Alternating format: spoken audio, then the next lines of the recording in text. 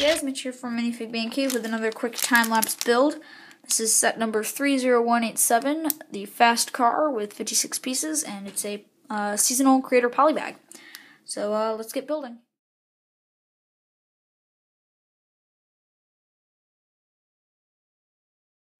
So uh, here's a quick look at the set, finished. Pretty cool. Um, we get five extra pieces. Um, here they are. Just focusing on those. So three studs, a cheese slope, and a grill.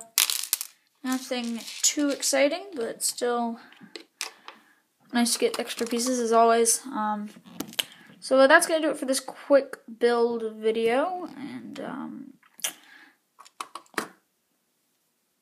thanks for watching, and I will see you in the review.